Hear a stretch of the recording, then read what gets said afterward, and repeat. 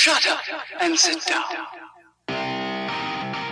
Hey, everybody, welcome back to another episode of the Bowhunter Chronicles podcast brought to you by Tactacam. Tactacam is by far the easiest way to begin filming your hunts. Whether it's the budget friendly solo or the 4K Tactacam 5.0, Tactacam has something for everyone. They also have the Reveal Cell Cam. Uh, the cell cams are quickly becoming one of the most difficult cameras to find uh, with their excellent quality at an incredible price point. Uh, so check that out at tactacam.com. This week we are joined by Dirk Durham, the Bugler, host of the Bugler broadcast podcast. He's also one of the main guys with the Elk Collective, as well as uh, he works for Phelps Game Calls. So if you're ordering any of those last minute elk calls for this season or any turkey calls for next season, uh, when you call up, you might just get Dirk on the phone. So um, Dirk is hilarious. Uh, we have a lot of fun with this one, but he's also a world champion elk caller, uh, world class guy, world class elk hunter. Um, and we actually have some technical difficulty in the middle of this episode, and I left it in just because it's hilarious how it all kind of plays out. But we go through um, elk strategy, elk calling, uh, lots of different things for uh, beginning elk hunters. So it's a it's a great episode. Um, real quick, I just want to say thank you to our Patreons. Got a new Patreon, Casey Kurth out of Minnesota. Uh, thank you for signing up for the Patreon program and uh, you know supporting us. Patreon is crowdfunding for creators, uh, so he gives us uh, it'll be a donation every month, and um, you know we we really couldn't be doing everything that we're doing for that uh, without for the podcast without the Patreons, and uh, we really do appreciate that. And to to give back, we uh, do some giveaways uh, for the Patreons. Uh, I've got a set of Beast sticks. We're giving away one of the Tactacam 5.0s. We have uh, yearly uh, subscription to Basemap Pro. And uh, if you're not using Basemap, you should definitely check it out. The free version is pretty good, but the Pro is um, everything that uh, any of the other uh, online mapping apps is, um, but with more layers, tons more options, unlimited downloadability. Whatever your phone can hold, you can download a map that's as big as you want it. So, you know, Basemap can do that for you. So, definitely check that out. If you go online uh, to app.basemap.com, uh, you can use the code Chronicles for 20% off of that. And so it's $24 for the entire year, um, you know, which is the, the same as one state for some of the other ones. So definitely something to check out. But uh, we've got a bunch of giveaways through that. Um, just sent out is his merch package. So he'll get some koozies and some of those Uncle Frank stickers. Uh, it seems to be that there's a clamoring for some Jeep stickers with the uh, with the arrow in it. I'm sure John will really appreciate that. Uh, maybe I'll have to get that made into a shirt. Um, but anyways, uh, I just want to thank you know Casey and all the other Patreons that uh, support us in the show. Um, if you want to show us a, a, little bit of support, throw us a couple dollars every month, uh, you can certainly do that by going to patreon.com forward slash Bowhunter Chronicles podcast. And, uh, you know, you get access to our uh, Facebook page as well as uh, some of the other things that we do behind the scenes. And, um, really appreciate all those Patreons. But this episode is super fun and there's no saddle hunting talk. So it's uh, it, it, should be refreshing for for many of you. So uh, just thought I'd put that out there. But you're to enjoy this episode. Uh, fun for me to edit, so it's definitely to be fun for you to listen to. Thanks for listening.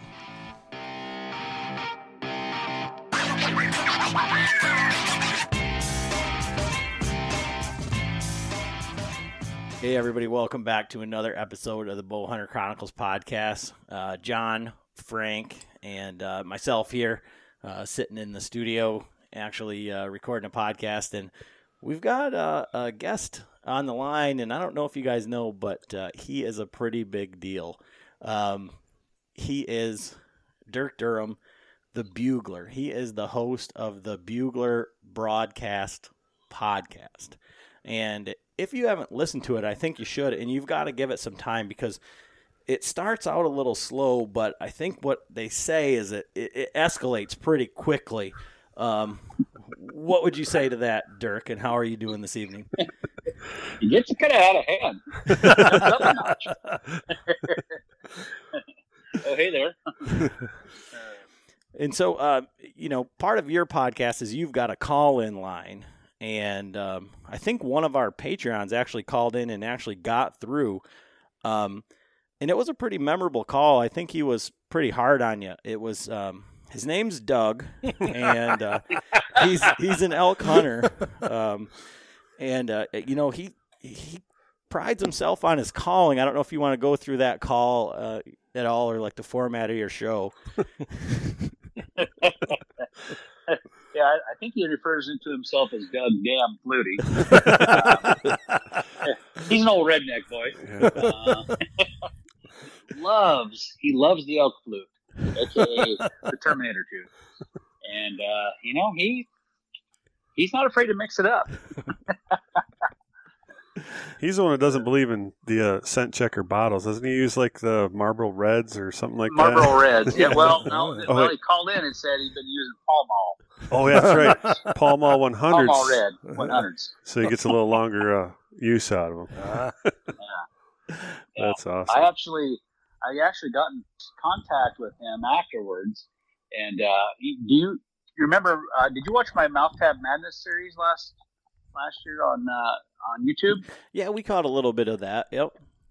Yeah. So uh, my camera guy, Doug, or not Doug, camera guy, Dusty, Dusty actually sat down with and, and interviewed Doug Flutie here.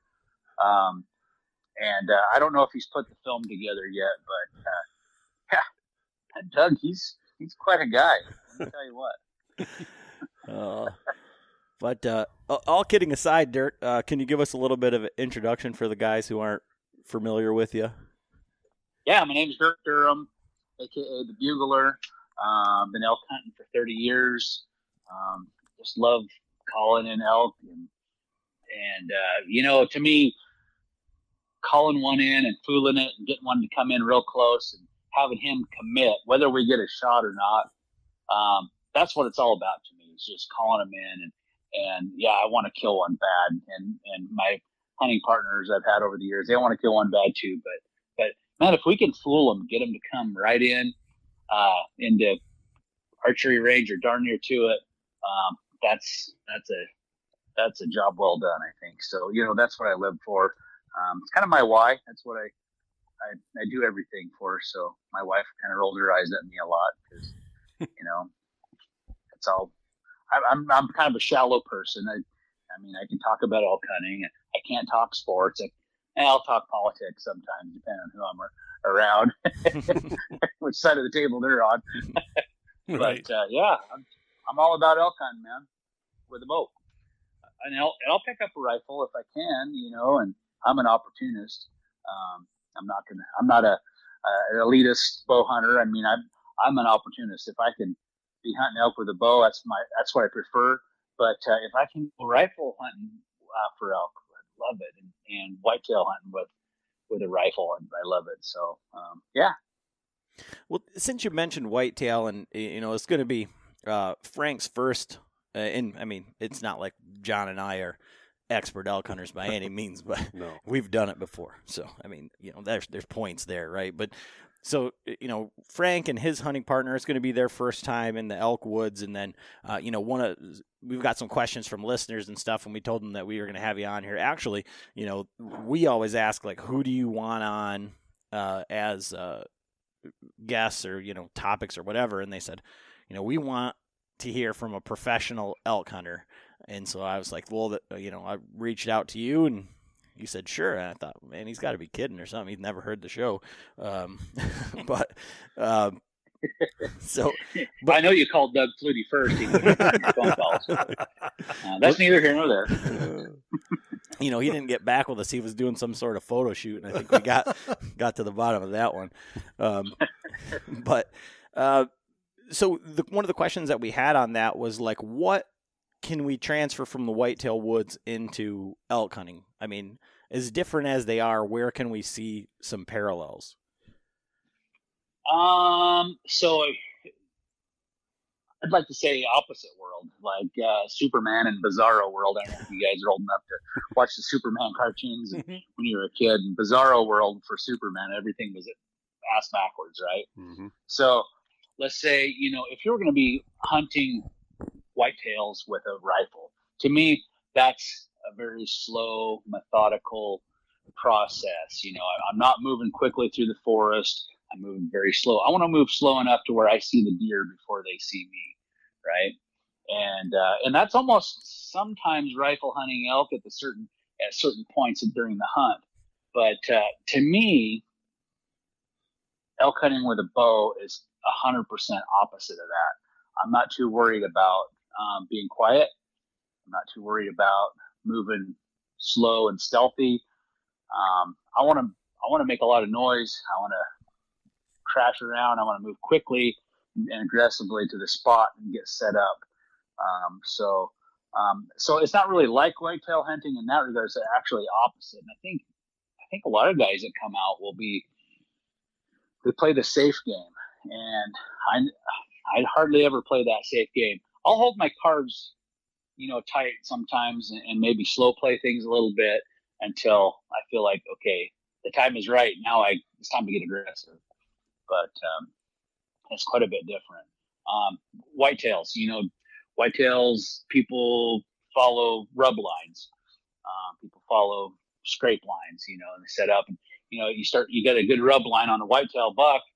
Um, you probably you put your tree stand on it, or if you want to still hunt that country a lot, you know, you're probably going to see that buck again or a, a different buck that's going to be traveling that same corridor uh, or checking those scrapes. Whereas elk, they don't really revisit those those rubs too too often. A lot of times that's just that's kind of an in the moment thing. As they travel through their day and they get frustrated or want to show their dominance or mark up a tree or or just they're bored and got all this testosterone flowing, they just make up a random rub. Now, what what I will say though about rubs is you'll if you're if you're hunting an area and you're just not finding rubs and you're not getting any bugles. And then it's weird, like overnight, bang, you'll start seeing rubs pop up, and then you'll start hearing bugles. Um, when I start seeing rubs, especially like if you're hunting roaded country, if you're not in the back country, the roadless stuff, if you're hunting in roaded country, and all of a sudden you start seeing rubs popping up on along the road, it's like okay, bulls are starting to cruise now. They're starting to cruise, start looking for for cows, you know, uh, maybe find a harem of their own to, to, to fight for. And uh, usually that, that kind of gives me a little bit of confidence to be like, all right, um, this area here, you know, pretty big area, is going to have some bulls that'll probably bugle. Now, I'm not going to camp on that rub. I'm not going to camp on, you know, let's say it's a crossing or something there. I'm not going to camp on that rub thinking that bull's probably going to come back like a whitetail might. He's he's not going to do it. Chances are, I mean, maybe, but a lot of times they're just there's covering country. They're rubbing their their antlers or horns, whatever you want to call them. I like to call them horns most of the time. But uh, but yeah, that that's a that's a something they do both do, but they don't. There's a, a big difference in in how they in how they kind of live in their life cycle there. Um, white man, whitetail hunting to me and, and elk hunting, they're they're a lot. They're polar opposites. Um, turkey hunting, a lot of people say turkey hunting is just like elk hunting. It's it's similar, whereas you know you can kind of do the run and gun thing for turkeys and, and find find toms that'll want to want to go. And I, and I feel like that's a pretty good similarity. They, I think elk and turkeys have more in common than than elk and white-tailed deer. Okay. Yeah, and I mean, for us, that was one of the first things when we, you know, we we had met up with uh, some people and they were really helpful to us. They was, and that's what they said straight away is like, you're not whitetail hunting. They don't care if you're making noise, if you're breaking sticks, and they're, you know, they cover ground. So you need to get out there and get after them. You know, don't worry about them. That's not what's, you know, your scent is, is gonna be more of a deterrent than your movement, your noise, any of that stuff. Right. Yeah, absolutely. So, and, and you had mentioned like setting up or camping out. You know, th- there was a question about using, you know, tree stands or blinds or anything setting up on that. Um, you know, getting from one of the the listeners. So, Yeah. where where does that fall in? Um, you can definitely um, use tree stands and blinds to your advantage for elk. Um, let's say you have a, a ridge line and you have two basins and they connect. Let's say one side's got a lot of feed in it and the other side's got a lot of timber in it. And elk, a lot of times will follow the path of least resistance. So there'll be a saddle or something. You know, putting your tree stand in a saddle or near the saddle uh, that's a great place to uh, ambush a bull or a cow, whatever you're hunting for.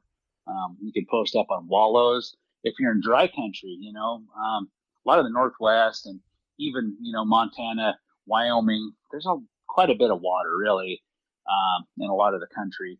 So setting up on water, unless it's super dry and there's just like no water around, you'll, and you'll be able to tell, be like, if you're seeing a lot of creeks, posting up on a certain water hole may not pan out for you. But if if you're just not seeing any water anywhere, and you kind of find some water and there's elk tracks there, that might be a great place to set up and, and have a and have a tree stand and, and capitalize on that or a blind. Um, but uh, yeah, it's the, the trouble though in some of these states that have wolves. Um, one- week the elk will be there. The next week they're long gone. Um, so you know if you if you base your your tree your hunt on well I'm gonna hunt these two or three drainages and I got my stand set, you you could possibly get there and find fresh elk sign, but sit in a tree and rotate through your stands for the next ten days and never see an elk or see another piece of fresh sign just because you know maybe the the wolves have pushed them out of there or you know maybe you're hunting Colorado or something where there's just a ton of people, and uh, maybe the you know there's enough hunting pressure that it kind of blew them out of there. So How f- how far will they uh will they go? You know, um, like- depending, like Yeah. you know, in Colorado, sometimes you know I've only hunted there once, but you, you talk to a lot of guys in Colorado and said you know you kind of got to play your cards tight because a lot of times if you blow blow them out of a basin, you know they're gonna go up over the top of the mountain into the next over to the next side. and It may be two or three miles, four miles away. Wow. um, in a direction maybe don't even know which way they go. And, and uh, you know, a lot of those states, you know, they'll they'll relocate a couple couple three miles pretty easily. Um, so, and Roosevelt's, which I've never hunted, but you know, my buddies that born and raised, they hunt those a lot. Those don't seem to run off as far if let's say they get pressured, but they'll they'll kind of move around a little bit, but you can kind of get back on them. Um, pretty easily compared to some of the Rockies. Sometimes you you bust them out and they're they're long gone. So, but as far as wolves, and a lot of times wolves, maybe the elk don't leave the drainage. Maybe they just go hunker down. I've seen that before too, where they're still there, but their travel gets restricted. They it's almost like they're on COVID lockdown. um, they they they shelter in place, if you will. you know, they'll have a they'll a lot of times they'll go to the very bottoms of the drainages where there's no trails, no no roads, and they'll get they'll get down in there in some really thick, steep, nasty stuff. Wolves don't seem to like that as much, and they'll just kind of hunker down. They'll find somewhere where they don't have to travel far for food or water or cover, and they'll just be quiet and they won't move. And when the wolves are there, they just hunker down, and then maybe the next week they kind of loosen up a little bit. You might get one to bugle in there. So if they don't get pushed out, then a lot of times they just hunker down. So And uh, so that's one thing I wanted to ask you about. And since you kind of like talked about the drainages and getting pushed down, you know, you heard about, uh, you know, John and I, you know, prior to the podcast, where we were at in Idaho and what we did. Yeah. Um, one of the things that I think we really missed out on, and we weren't very high. I think where we got into the elk was like 6,500, 7,000 feet. And I think that's why, you know, the guy that was pointing us in the direction was like, you know, it's not that high, it's not that hard. You know, it's, you know, you can manage out there fairly easily.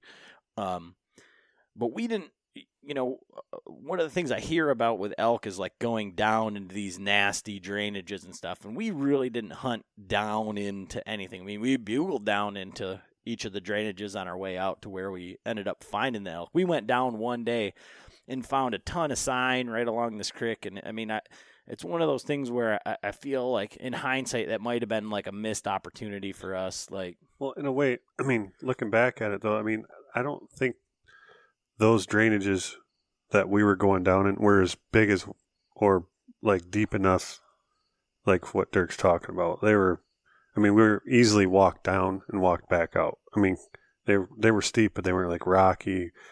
I mean, a, a wolf could easily just trot it down through there. So, right. I think the territory we were in wasn't conducive of, of that. Yeah, uh, my my point is, or the the question is, is like that type of hunting. Like when, like I guess, what are you looking for when you're looking for elk, or when when you're in an area and you're like, oh yeah, there's definitely going to be elk down there. This, you know, looks elky. Um, you know, one of the things, like I said, I feel like we missed out on was like hunting down into spots that could have been could have been elky, but we don't have that acumen just yet. Right. So a lot of times, here's kind of how I, I break up the landscape when I look at it. Uh, depending on the country I'm hunting, let's say your road system, your trail system is on top, and your your trails are on ridges, and uh, there's not a lot of trails or roads in the bottoms of these big drainages. Let's say if you walk from the road or the trail down to the where the very bottom of the creek drainage, it's a two mile hike, maybe a thousand square, a thousand uh, foot elevation gain, right? Mhm. So a lot of times I feel like I find the elk in that bottom one third of the canyon. That's where they kind of hang out. And so if your road system's on the top and your trail system's at the top, a lot of times I'll find those elk in that bottom one third of your of your canyon. If you were to to slice it into three parts, you know, it'd be that bottom third. And then in that same token, a lot of stuff I've hunted in, in Idaho and Wyoming too is like if if your road system, your trail system is in the bottoms, right, and there's nothing on top, um, but just jagged, high elevation mountains. A lot of times, um, it's almost reversed. It's like that top two thirds is where you start getting into them. They don't really congregate as much in the bottom, more that top two thirds. So they're a little further. They kind of like to stay out of the reach, you know, a little bit. And I don't know if um, So- that's just kind of what I've kind of noticed.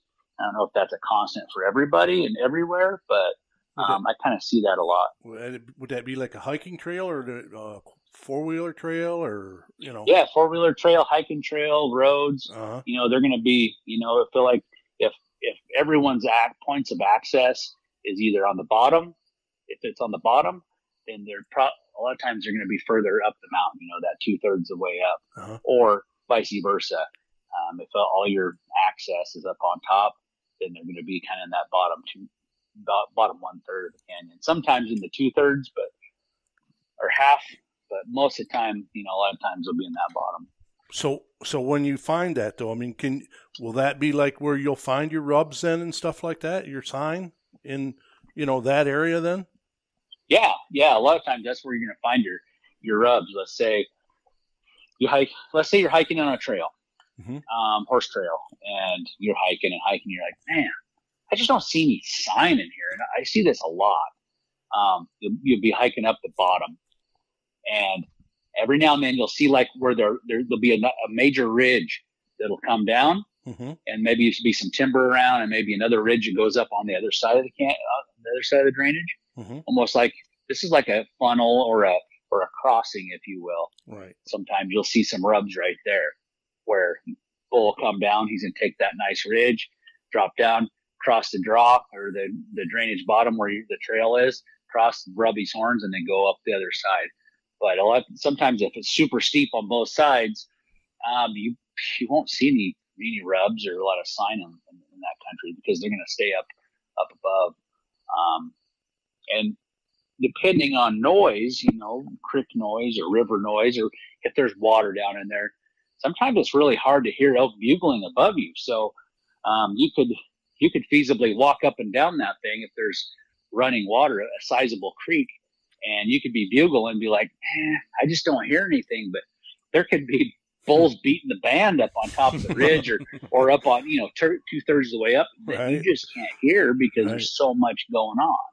Huh. So that's that's something to keep in mind. So so what I want to do, what I'm trying to get out here is if I'm going to hunt a country where the access is in the bottom, I'm going to go up the bottom to where I've already scouted this on my Google Earth and on, on my on my base map. I'm going to have a point of where I'm going to start climbing up up one side of the drainage or the other. Mhm. I'm going to climb up to at least halfway, halfway from the top to the bottom, and then start working my way up the drainage.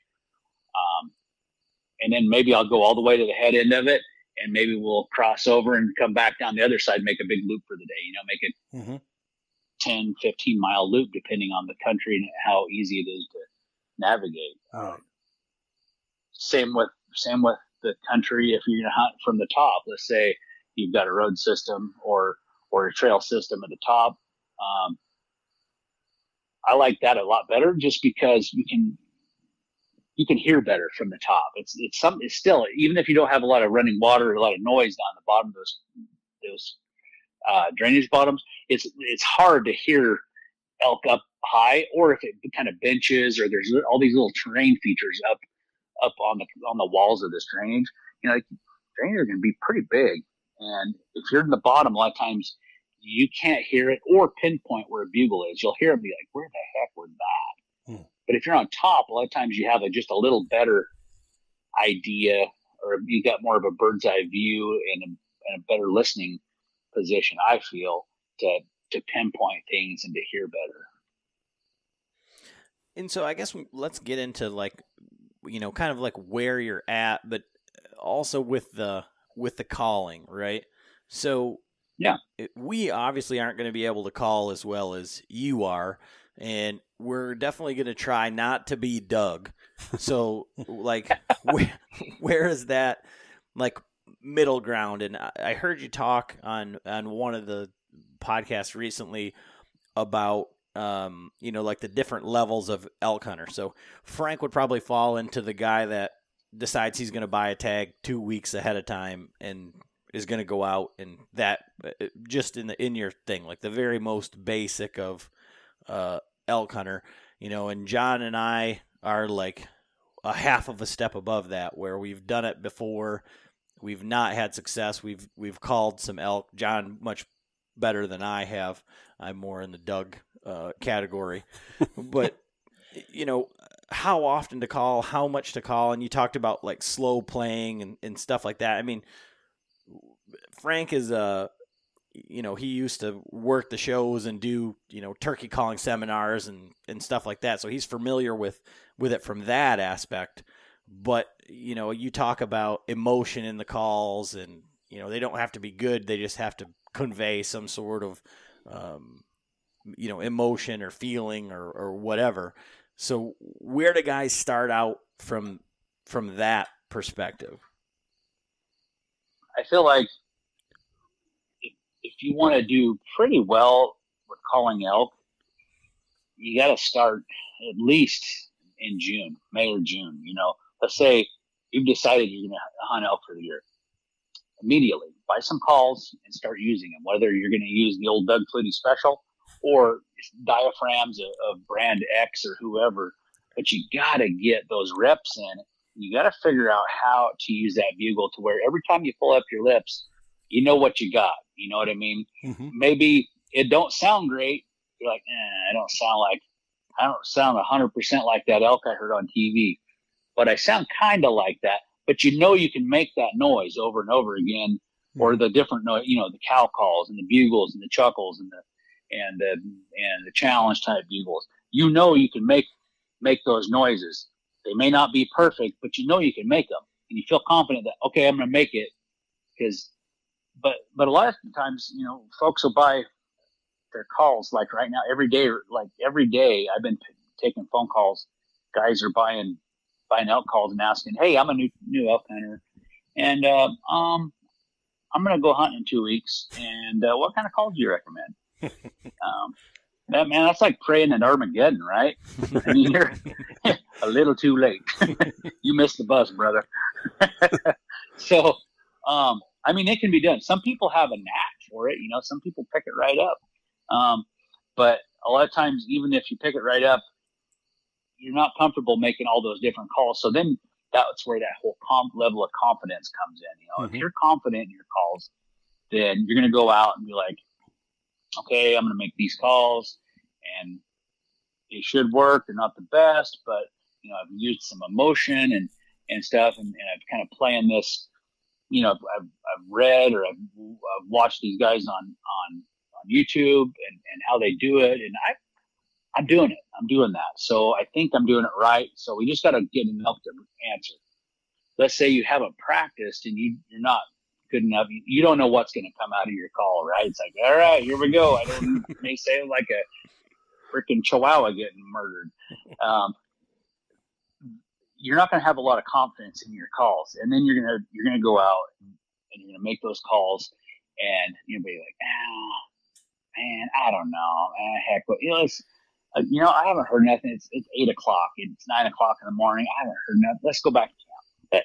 Hey, I got I got bacon and eggs calling my name, right? so, with you got calls that don't work or bacon and eggs. Uh, bacon and eggs, right? Let's go have bacon and eggs. So then a nap in camp, and then you know, you know the drill.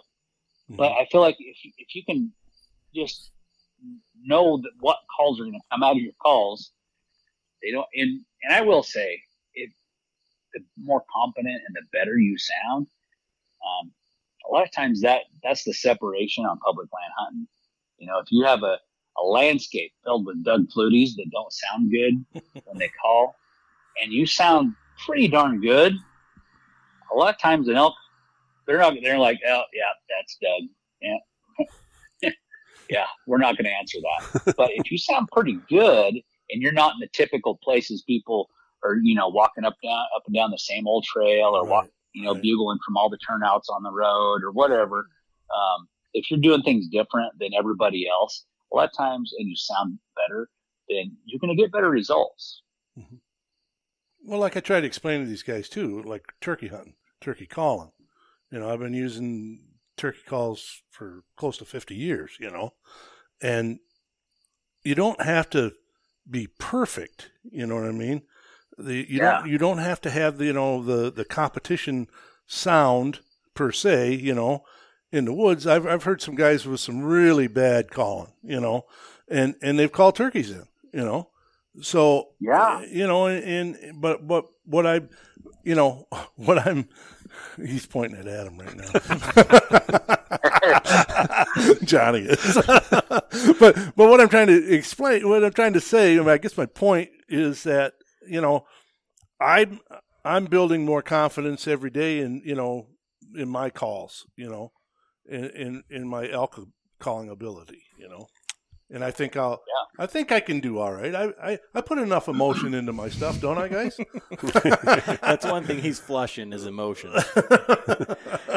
he he got the calls. You know, I ordered him uh, some of the born and raised setups and and everything, and he's got the Phelps mini tube. That's actually my four year old daughter's, and uh, Who can actually call better yeah, than she she can call better than me. yeah. right.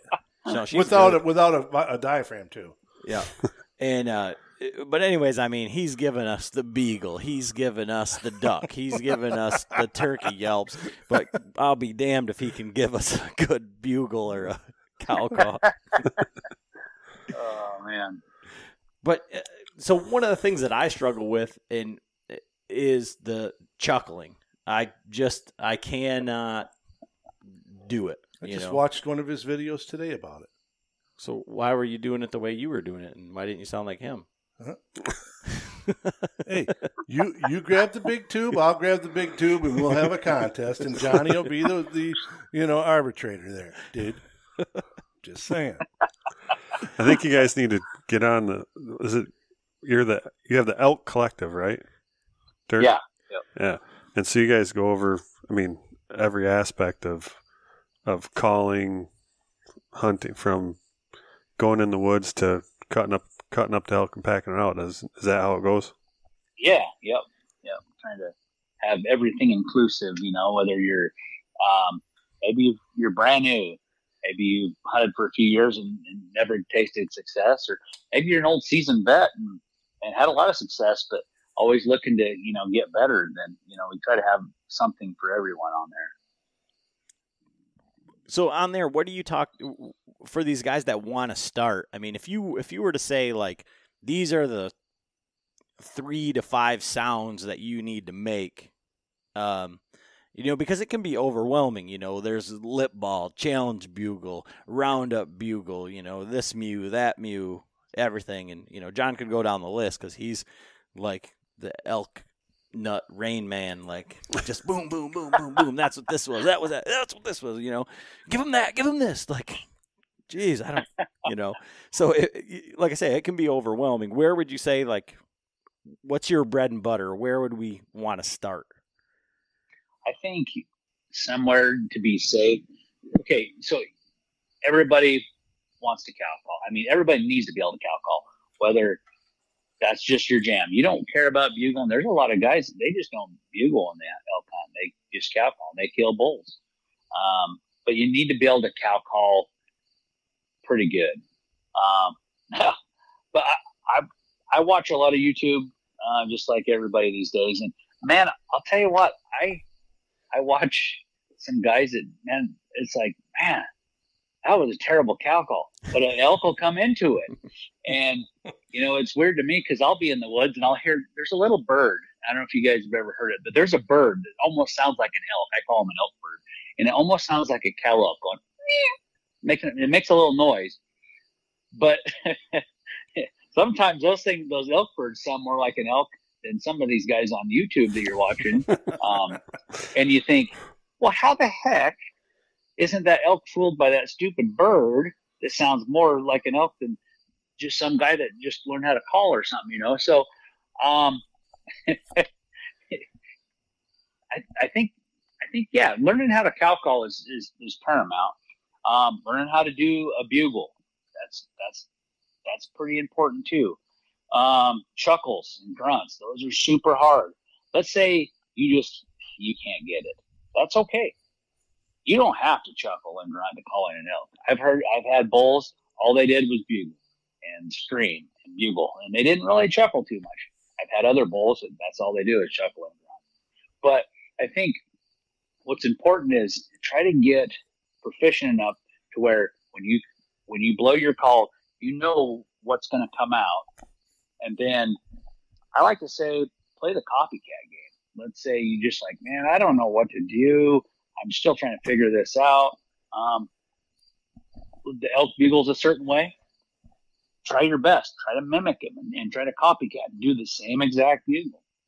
Um, it's almost like the old playground, you know, and little kids mimicking each other until somebody re- is ready to fight. You know, nobody likes to be be copycatted, right? so it works. It works.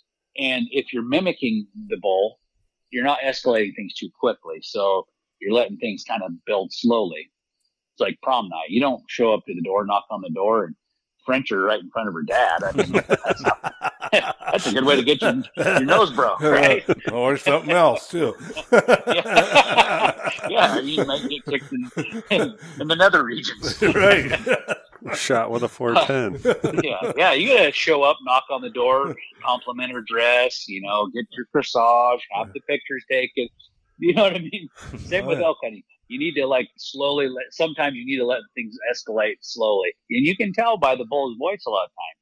You can, if he just kind of bugling half half-heartedly, you can tell that. And then when he gets pissed off, you're like, whoa, it, it's a definitely definite change in tone. You can you're like, oh yeah, that's that's good. That's real good when they make that noise. So um, playing that copycat thing, that's a that's a that's a game that never goes wrong most of the time. Uh, especially if you're like trying to get closer and closer and close the gap and getting closer to the bull. You know, um, it now if you're playing copycat game and he's you know half a mile away, he may or may not escalate things. It just may be a, hey, I'm just bugling to an elk over here, and you guys are tooting your own horns, and that's that's the end of the story. But Um, So what what would you say is a is a good distance, you know, to to get a good response like that? To where you know how close should you try to get to them? So I want to get once I've let's say I've located one. I'm like hear a bull off in the distance. I'm like, okay, um, I want to hear two or three bugles that are like, okay, I know right where that bull is. Um, I might even pull up my and I always do these days. We have all this mapping uh, software on our phones, whether you're using Basemap or onX or whatever it is.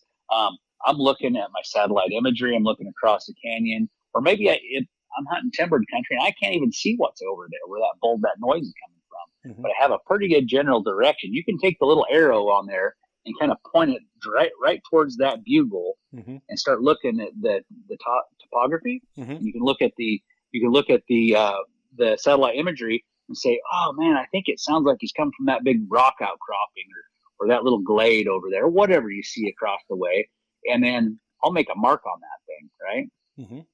So now it's hard. Some you know before we had this these fancy features, um, you just had okay, I think it's over there. You try to find, you know, you try to find an old snag or a rock outcropping and use some kind of a, a marker, a place mark over there to walk to. But now you you do have a, a legitimate place mark, so now you can bail off and walk over there. It may be a quarter mile or half mile of walking once you walk around Robin Hood's barn to get there. But I want to I want to close that gap. I want to get to 200 yards at least, if not closer. I want to get really I want to get 100 yards, and any closer than that, you, you do risk bumping them, especially if you're if you just don't know exactly. So um, yeah, you want to be in that 100 to 200 yard range before you start calling again, and then kind of see see where where you go from there. What his heat range is then, you know. Yeah, yeah, yeah. And I'm going to start over again. You know, I'm going to just give a couple, three little cow calls, mm-hmm. very quiet ones. Because who knows? Maybe you walked right up on him and you don't even know. Yeah. So give those those couple little, two or three little quiet cow calls and, and wait and listen. You know, I might wait a couple, three minutes and okay, I didn't hear nothing. And I'm going to give two or three, four loud ones. You know, I'm going to wait. I really want that bull to answer my cow calls before I hit him with a bugle. And then um, once he finally answers, sometimes they won't. I've had it happen where the first peep out of your mouth, they they they rip a bugle. Sometimes they'll sit there for ten minutes waiting to try to get him to answer that cow call, and nothing happens. And then I bugle, and he cuts me off. So it every situation's different, but uh, but that once you've got close and you and you introduce that bugle, then you can kind of get that temperature on him and be like, oh, okay, he's he's still half-hearted, or ooh, he's mad. Mhm. He, he's ready to rumble. I, I wish we would have had this conversation early in 2018. We talked to your buddy Trent Fisher, and he didn't. Uh, Oh yeah, he didn't uh, tell us that. And then what John and I did is after we let that elk that we didn't that I didn't shoot at walk away, we had a pretty good idea of exactly where he was going to bed down, and we how far did we get from that bull? Oh, we were bedded? within a hundred yards. I mean, Yep. And I ripped a giant bugle, and he ripped a roundup bugle, and they boogied out of there, and we were right on top of them. And that I mean, that's one thing that just haunts me. Um, haunts you. I was I was You shooting were at that point. time, yeah. But but yeah, I mean, uh, one of the other things you talked about, and and this might kind of answer Frank's question also.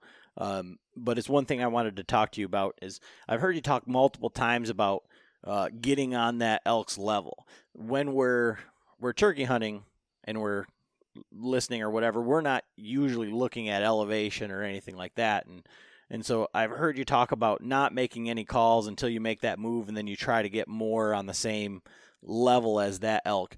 How uh, you know when people talk about, and I've I've heard this from like the hunting public guides and stuff, where you know talking about trying to call turkeys up or down or or whatever. Um, how does that work with with elk as far as like you know calling up to them, down to them, assuming that the wind is is good? Yeah so I've called in elk from that climbed up, say from the bottom of the creek, half a mile up the hill right to me. I've called them from way up the ridge, it come straight down on me uh, before. But uh, what I what I really like is I like to try to be on the same level as them. It makes it easy for them just to come side hill to me. Also, it makes it easy for me, easier for me. Let's say you know you have your your your thermal winds, whichever way they're blowing, up or down. Um, let's say there's a you know let's say it's a you got a nice blue sky and and you got your thermals rising and it's in the middle of the day or, or it's a afternoon and and, and the, the, the cooler thermals haven't started dragging downhill yet. And a big cloud goes over. This has happened i don't know how many times but a big cloud will go over.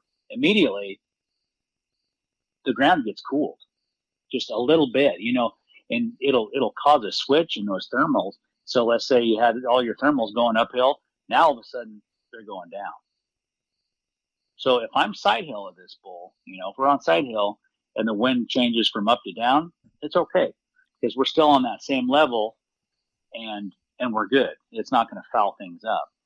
Now, sometimes they can get swirly and swirl around and and you know, that's it's hard to you just can't get away with that. Um, but also, let's say you know, you got good steady winds whichever direction that bull's coming in and all of a sudden he's you know he's a hundred yards, fifty yards out, what however far out, and you can hear him.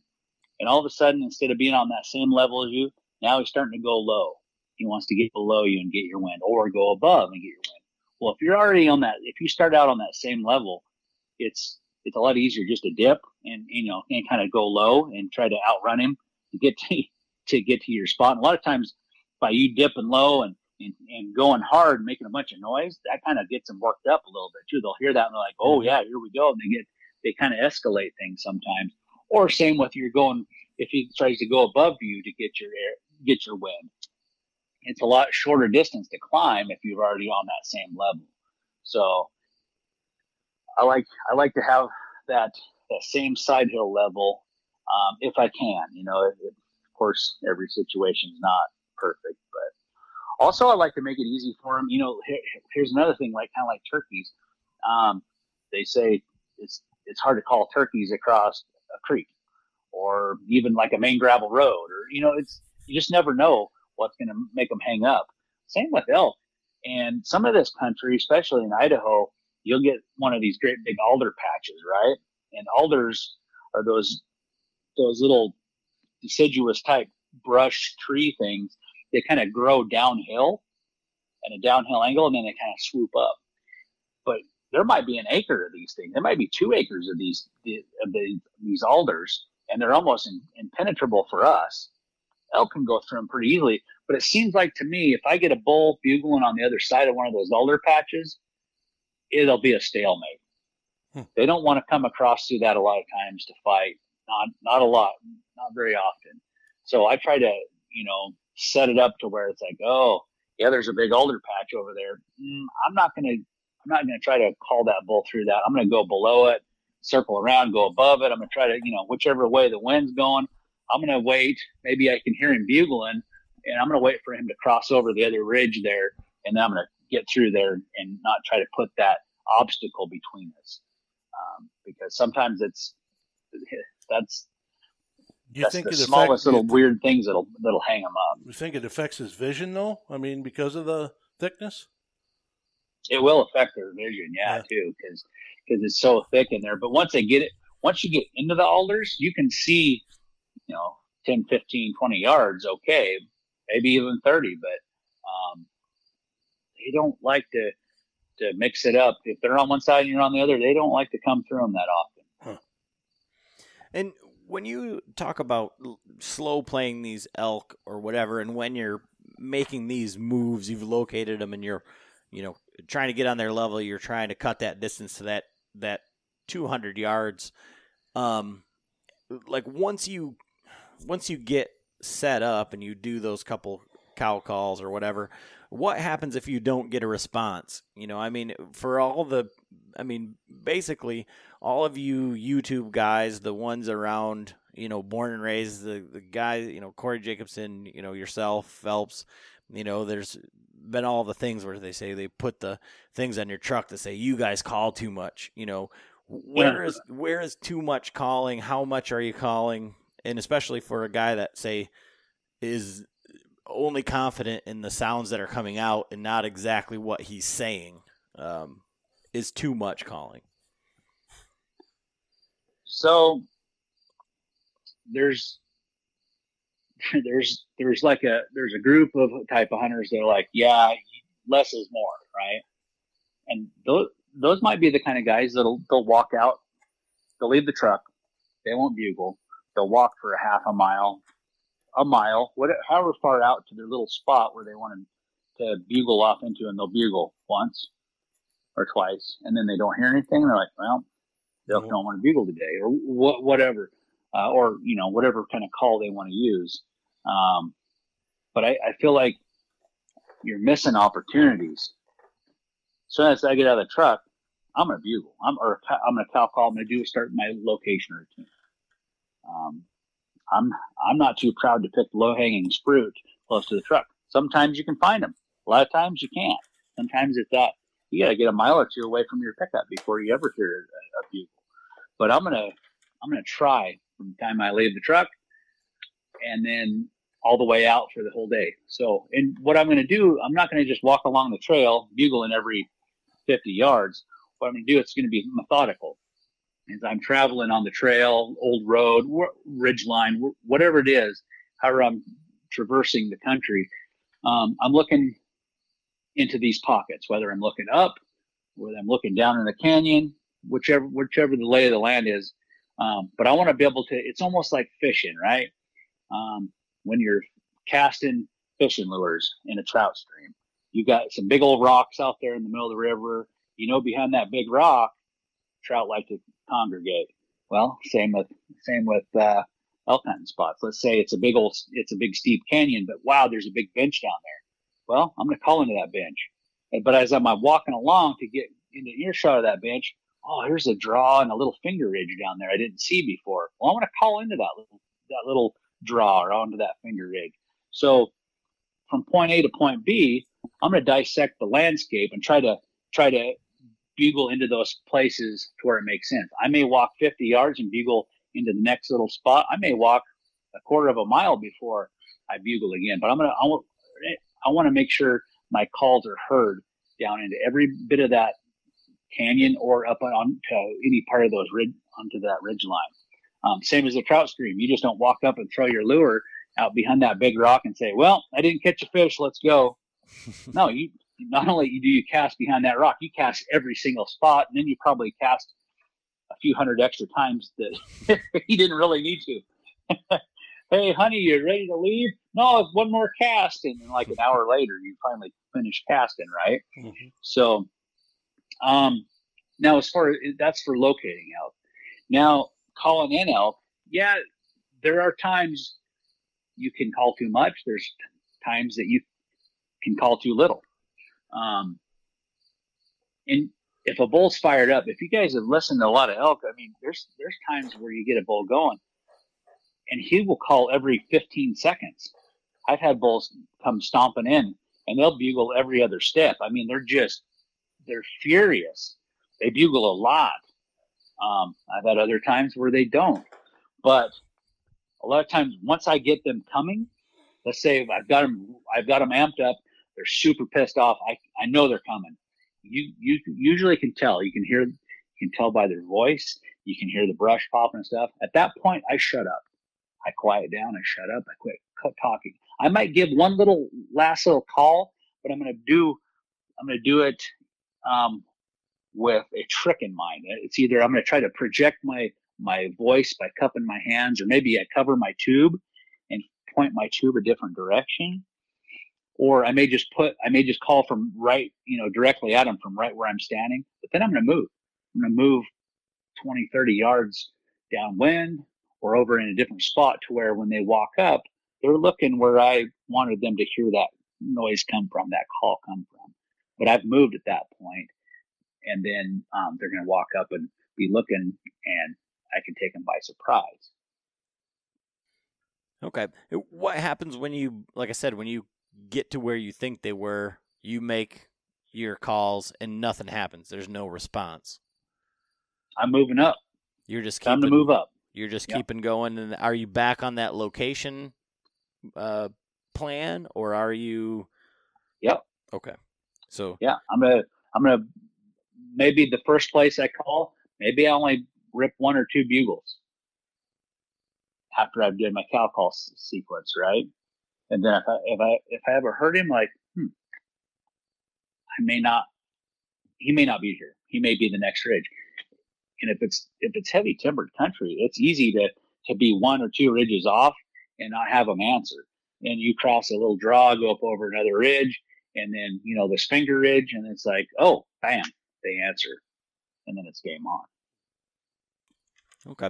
And so one of our uh, our listeners there, he's hunting with his wife, and they've got I think eleven days, and they've killed elk before. I mean, he's been hunting elk since he was a, a child. He's from Michigan, but um, his thing is, is he he said, "How do you kill one on the first day for your wife so you get to hunt yourself?" And, and I know, I mean, it, it kind of falls into what we're doing too because we're going out in, in different groups. And I heard you talk about this with Cody Rich, with you know uh, how many guys are too many guys in a party, or you know trying to kill multiple elk. Um, I guess how do you um, when you're hunting with a group of guys when you're trying to fill multiple tags how do you uh, prioritize is it is it speed do you just you're just looking for that elk that, that wants to play or um, you know is it different from when you're you've got all season just to fill your own tag Um, I think it's kind of the same process as far as you know trying to locate them. Um, I I just gotta I gotta find a bull that, that wants to bugle and wants to wants to interact and wants to fight. And sometimes you know, let's say you're in a target rich environment. Let's say there's quite a few elk around, and you hear a bull that just kind of he just gives you kind of a moan, a lazy moan, and he's not really mad or didn't really sound good. Sometimes you'll say, "Eh, I'm not going to waste any time on that one. I want one that sounds kind of fired up when he bugles. So you may keep going until you find one that, that sounds like that. A lot of the landscape here in Idaho, you just don't have a lot of elk in the landscape. So every single bugle, you have to go at it like, okay, this may be our only elk for the day or the week. So we got to go at that one and go go make something out of nothing, right? So if he gives you that moan, we're to try to get over there close to him and then kind of slow do that slow play just try to slowly escalate you know if he's doing a moan i'm to do a moan and then back and forth slowly over a long period of time and then maybe he'll get pissed off and, and he'll he'll change his tone and want to come in but but uh, yeah trying to kill you know let's say let's say oh i really want to get my buddy an elk and then i can hunt for myself or my wife or whatever um, if that's the case the best thing to do is leave your bow in the truck or at camp and you go all in for that other person. Or let's say you have a group of people, you have to be committed to, you want them to have success every bit as much as you want your own success, if not more. You want to put them first. You know, you have to put everything, all of your wants and needs behind and let the only wants and needs that you need to have is I want them to fill their tag and have a good experience.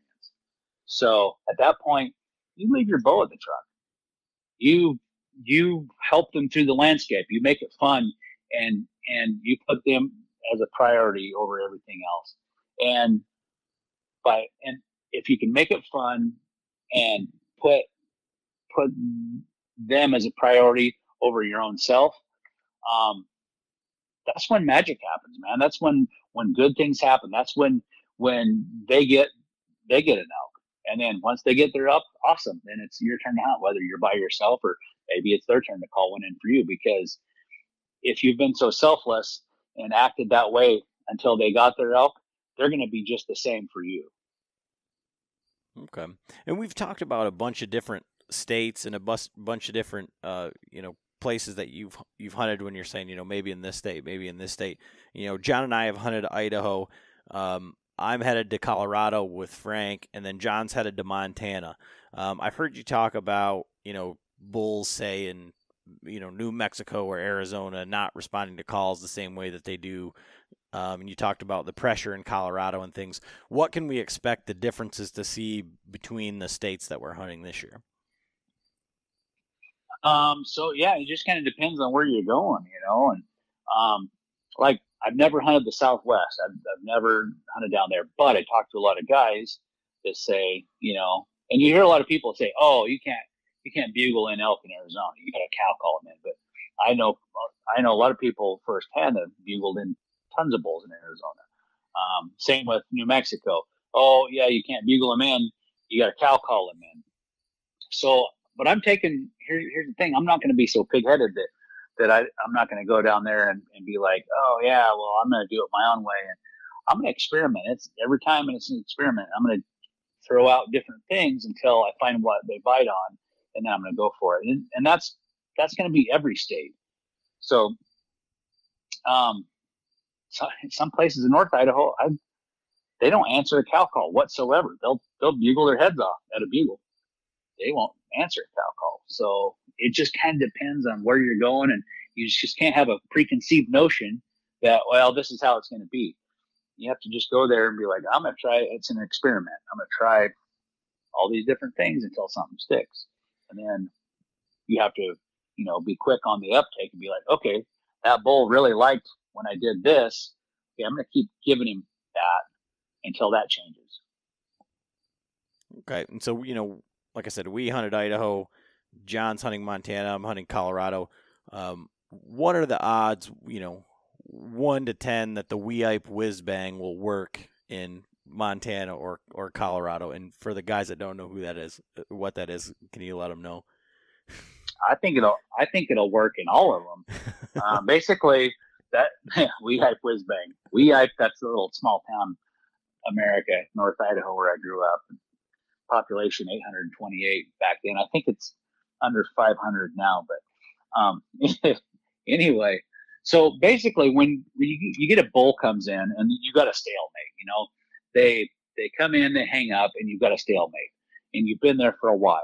You've exchanged bugles bugles for 10, 15 minutes, and he's not budging. He's not coming. He's got a little spot. He'll bugle and rub, bugle and rub. Maybe he just maybe he just stands there and bugle. Just he's not going to come in, and you're like, mm, I think, and then all of a sudden he, he's not bugling as much. We've all kind of seen a scenario like this. So at that point, it's like, well, he's either going to lose. If I just, if I go quiet or if I just keep bugling at him or cow calling at him, he's going to finally get lose enough interest and she's going to walk away. Well, at that point, you might have a hard time calling him in even the next day. I mean, you might get him to answer again, but a lot of times they can recognize your bugle from one day to the next, and they're like, "Yeah, it's that guy I bugle with yesterday. He's a coward. I could never could fight him. I'm not wasting my time." So, what I do is, let's say he's locked up at 60 yards and some behind some trees or some brush, and he just he will not come. At that point, I take things up a notch.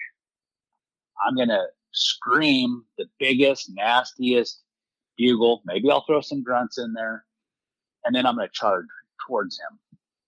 I'm to make sure I've got a big tree or a lot of vegetation, something where he can't look and peek underneath and see my feet, something he can't just simply just sidestep and look around and see me. I want to, you know, it's going to be hard for him to to see me, but I'm going to I'm to crash and I'm to break every every stick on my way to him uh, probably going to not have an arrow nocked. I don't want to slip and fall and run one of those things through my through my throat or leg or whatever.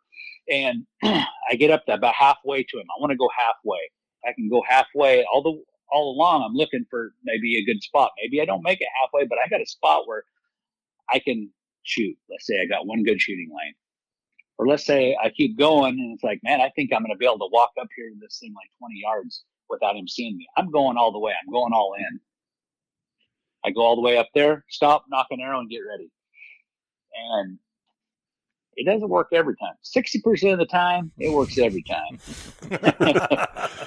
it doesn't work every time, but it's worked a lot in the past to where now you've piqued his curiosity because, or you've just angered him that you he's like, oh, how dare you? You know, you you've taken the challenge to the next level.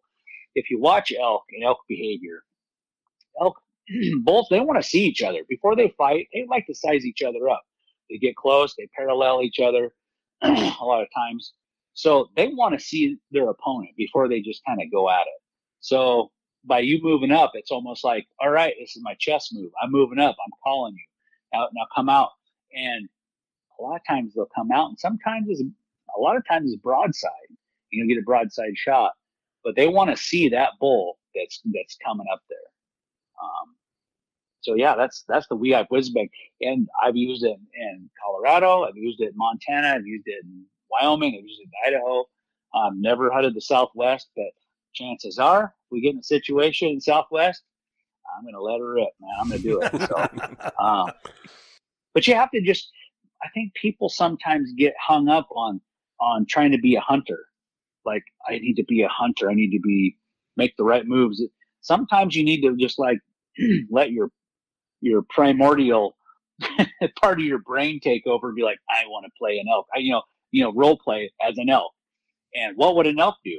You know, a lot of times those things eventually somebody if there's a stalemate between two bulls somebody's got to break the barrier might as well be you if they're not going to do it so yeah give it a shot because if you don't do that chances are he's probably going to walk out of your life and you may not ever get a chance to, to call to him again or or call him in again but uh, so i always go in i err on the side of being a little little too aggressive um, but it seems to work a, a question I have. I watched a lot of the a lot of the videos, you know, where they they can get an elk in within sometimes 20 yards and they they don't draw their bow. You know, they haven't drawn their bow or whatever. What what would you say is the the most opportune time to do that, you know, and when they're coming? Um, I'm always looking. So, depending on how much um, vegetation or trees I have, uh, let's say maybe he's going to come over a rise. As soon as I see antlers and there's not a bunch of vegetation in between him and I, as soon as I see antlers, I'm drawing my bow before his eyes will ever pop up. You can see there, you know, antler tips coming. Um, as soon as I see antlers and it looks like he's coming steady, I'm drawing my bow. Let's say I got a lot of crap in front of, I can see him coming from a ways, but I mean, I'm I'm not afraid to draw my bow at 15, 20 yards, 10 yards um, if I have enough stuff to cover the movement. You know, let's say he's going to walk behind a fir tree, I'm going to pull my bow back real nice and easy and not move my body or nothing. Only thing that's going to come back is my is my uh, right arm to draw my bow. Then uh, no, I'll, I'll, wait till then. Um, but you have to be quiet. You can't like rip it back. Your bow has to be silent. You can't have a, a squeaky rest or a rest where your your your arrow makes makes any noise on your rest. It has to be everything's got to be quiet. So um, but yeah, I, I am with you. I, I watch these uh, these guys on on YouTube or in hunting shows or whatever. They they don't draw their bow at the right time. It's like draw your bow, draw your bow. like they should be drawing it maybe earlier than later. Right. Or sometimes they draw way too early. It's like don't don't don't draw your bow yet. Wait wait wait because there's you know there's some going to be some, be some vegetation or trees come up to where you'll be able to draw your bow then.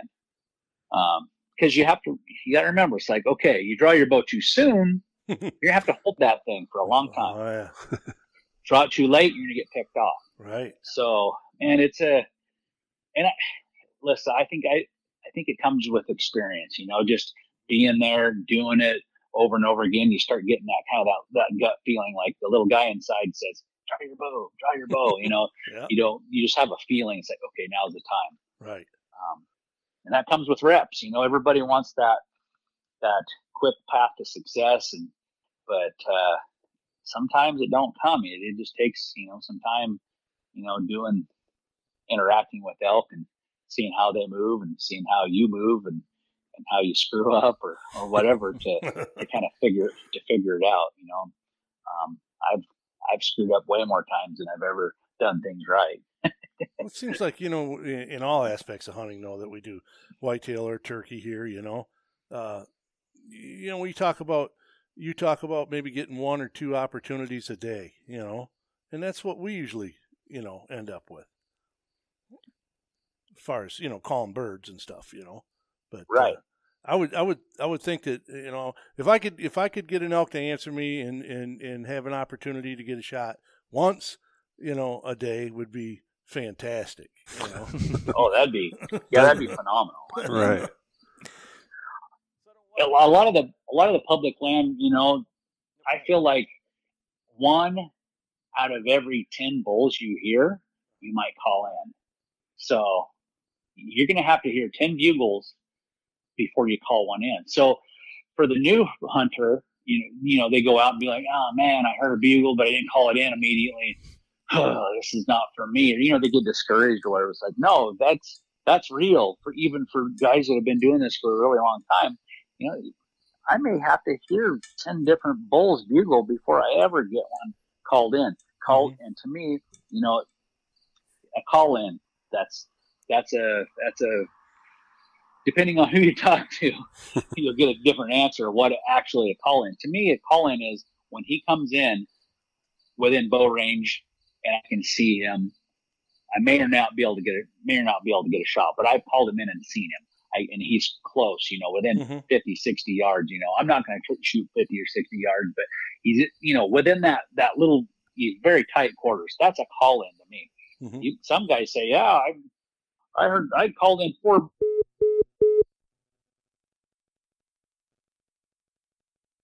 Just drop the call. no. Yep. We'll get it.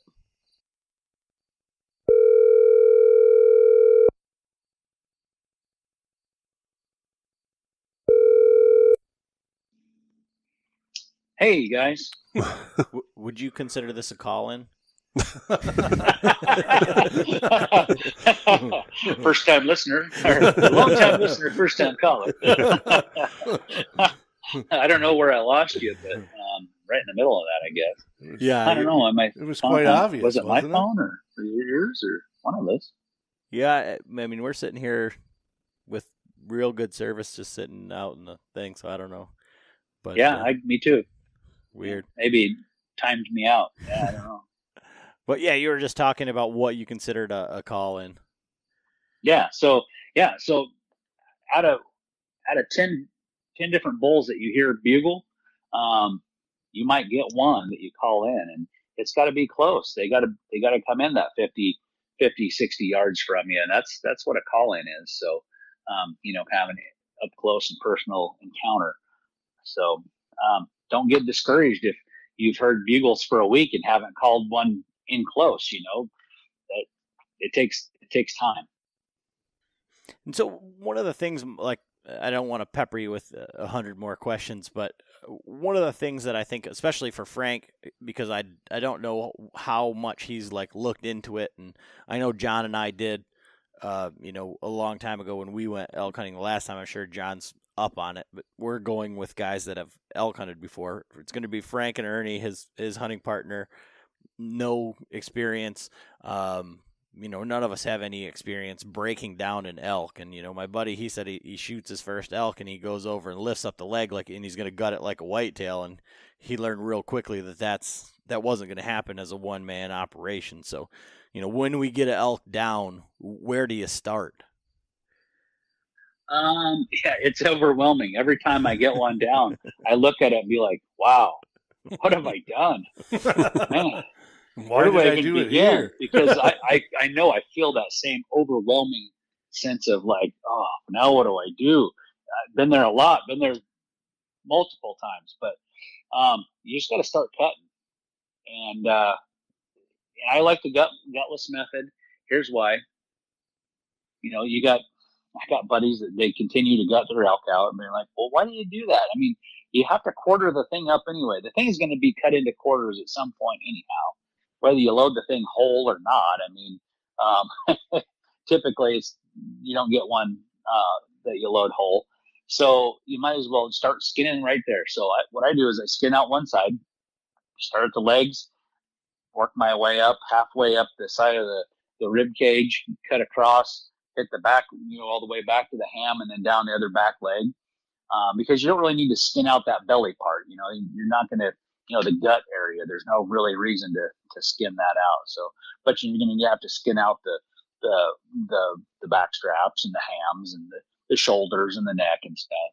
So then you just kind of work your way up, or you can start at the tail or start at the head and just cut and make a, a straight line right down the, from the, from the head to the tail and, uh, and then start peeling back the hide from there and then start cutting, you know, everything off after that. But, um, yeah, it's it's a daunting task for sure. Um, learn before you go. You got to know. Learn elk anatomy. You know, there's I would imagine there's probably some some uh, stuff on YouTube to watch how how to do it. Um, this fall we're gonna we're gonna do a super extensive uh, video on how to break down your elk uh, for the elk collective. Um, but you know, there's you know know the muscular muscle uh, structure of an elk and where you need to separate, you know, the, let's say you want to cut a hind quarter off, well, you just cut it off at the hip socket or whatever. But the less cuts you have to make, the better. You know, you don't want your, your meat to be all cut to pieces, you know. But, Hamburger in the field. right, right. Two of the guys, two of the guys are taxidermists that are going with us, and they've Oh, they've killed elk before out there, you know, and uh, I'm letting them do the shit. You know what I mean? knock yourself out, boys. Taxidermists, are- they're picky Man. on, on skinning too. That, that Oh, thing will yeah. probably be a masterpiece of skin skinning work.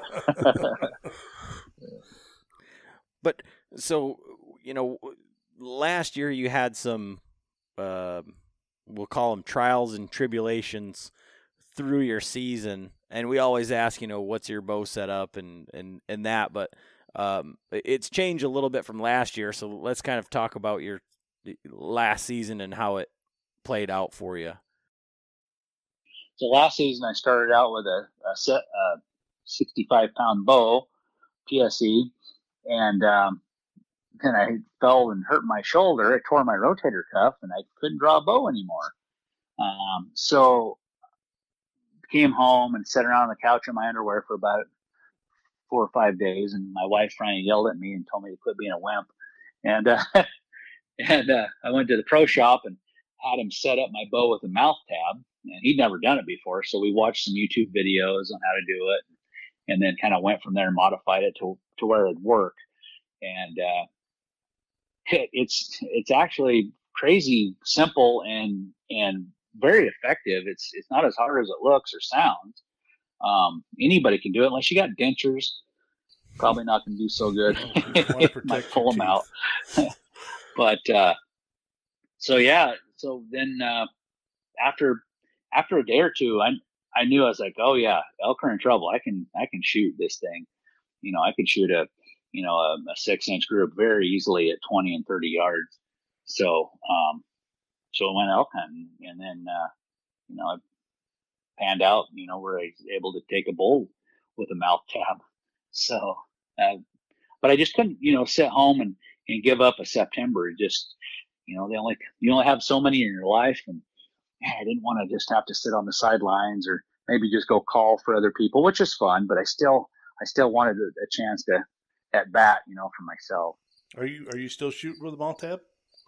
No, no, No? I had surgery in December Okay. And uh, had that rotator cuff fixed, and then went through I don't know several months of uh, physical therapy, and uh, so now I can pull my my bow back no problem. I'm I'm back to I got up to 65. I dropped it back down to 60 because I want to be able to hold that you know at full draw for as long as I possibly can in case I get a bull that hangs up weird or something. Had But uh, yeah, I can I can pull it pain free. had a buddy of mine back in the '90s. I, I worked in a pro shop in, in Muskegon here, and uh, he he was a race car driver over here at one of our local tracks, and he was checking his trailer one night after the race, and uh, a guy with a a camper on the pickup truck come by, and one of the guide deals where the tie downs hit Johnny in the arm. Okay, hit him, and it really messed him up. And eventually, he lost the use of his arm, and then Holy cow! yeah, and he came to me and and and he he had this what they called a at the time it was a bow arm, and it was you could pull it back and cock the bow, and it had Oh. like a release on the you know back on Yeah. the string. But he was trying to he was trying to rig that to his bow, and, and it was just he was having an awful time. And I just uh what read an article uh, on a target shooter that had one arm and and used a mouth tab, you know, and Oh yeah. I, I said to him, I said, John, I said, let's, why don't we try this, you know? And he goes, there's no way I could pull my bow with my teeth, dude. You know, what I'm going, yeah, you can, you know, I mean, we'll, we'll, we'll turn it down or whatever, you know, and so we fashioned this tab for him and he's been hunting ever since that way. Cause he, he, he Oh, had, him, he had him to actually take his, his arm off, you know, the re- because it was just absolutely nothing, you know, he'd lost all use of it and it, it really got to be, a problem for him. But he had him he had him take it off. But this guy's been shooting this way since the '90s, and and I've hunted with him. I hunted with him in Ohio, and he killed a, a ten point.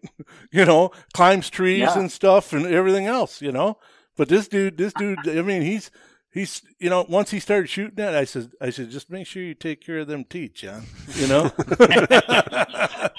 but it was right there. You know, when you draw that bow, when you push it out, you know, and you're looking right, you know, right there. You know, No punching the trigger on that one, right? no, no, No. no. You don't get target Can't panic forget with that. your dude. release. No.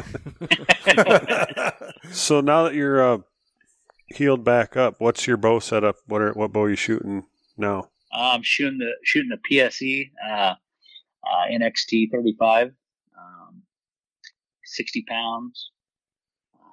Yeah, man, awesome bow. It's just shoots so good.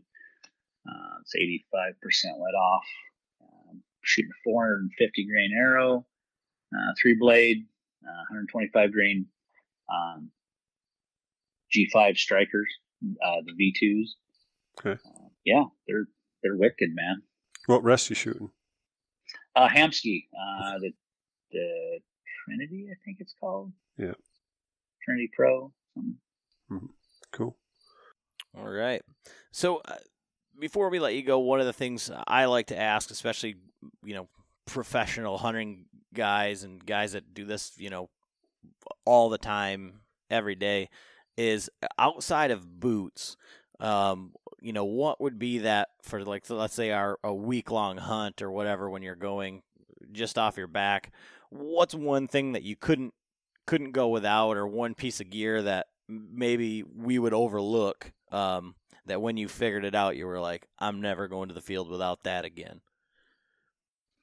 Uh, I think one thing that, gets overlooked, or you know, maybe something that people cheap out on, is just a pack, a good pack. Um, you know, there's there's a lot of really good packs out there. Um, I want a pack that will work as a day pack, but I can throw more meat than my legs will carry in it on the first trip out, right? So if I want to carry out 25 pounds of meat, I can. If I want to carry out 100 pounds of meat, I can. My my pack will be capable. There, it won't limit uh, what how much meat I can take out. Just the only limit will be me.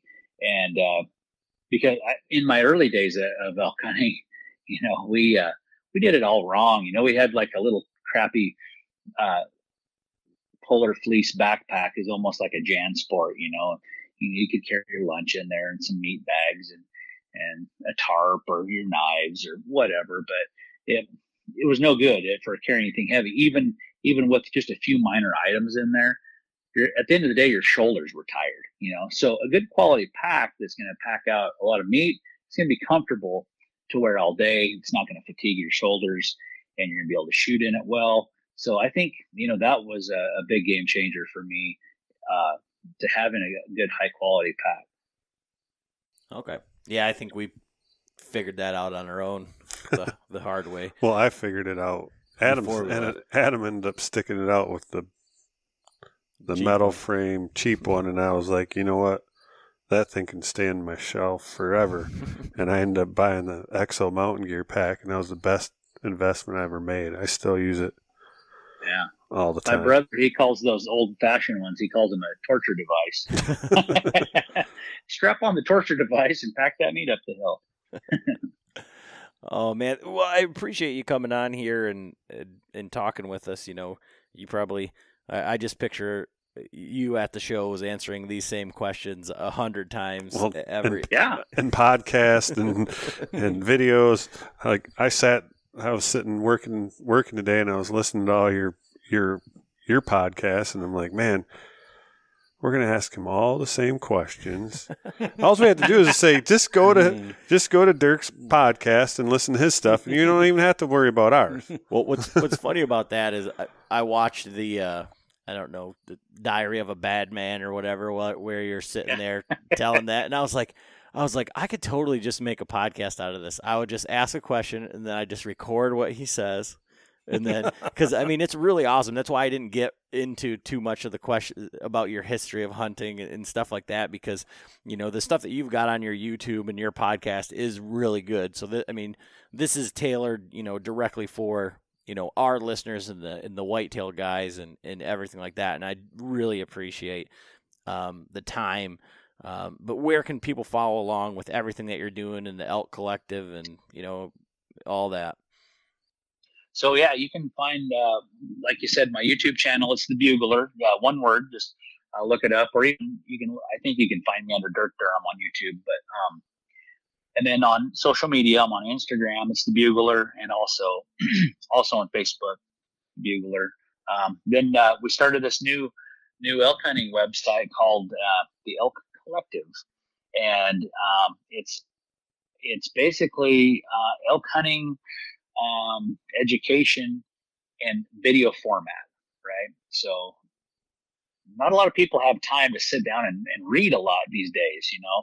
Everything in this fast paced world we live in, everybody's listening to podcasts or watching watching videos on the way to work or or when they're at work, you know, the, when the boss is not looking, you're watching a little bit of YouTube on the side or whatever.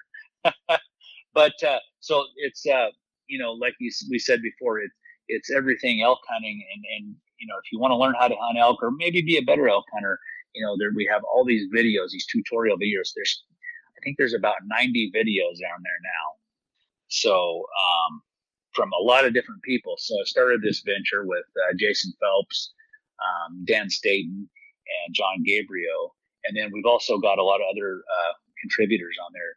Um, you know, heck, we even got Chris Rowe. He's a he's an elk biologist. He's a wildlife biologist, and that guy, you know, he's going to tell you to uh, to do it a different way than I do. He looks at the world of elk hunting completely different. He looks at it from a biological sense, from what he's experienced and what he's, you know, he's done in Colorado there, observing elk for for thousands of hours. So it's just it's incredible the amount of uh, the amount of, of different information that we have on there from different people, and that's just it. You know, we don't want it just to be my narrative. We want it we because listen, some maybe maybe people don't like it the way I you know maybe they, they think, man, I don't really that's not for me. The way Dirk does it, that's not really for me. But this other guy, he's telling me this other thing, and I like what he's saying. I'm going to try that. Or maybe some people take a little bit of everybody's ideas and kind of formulate their own way way to hunt elk. There's just more than way more than one way to to skin a cat. So anyway, that's what that's what the elk elk collective is all about. It's a subscription based website.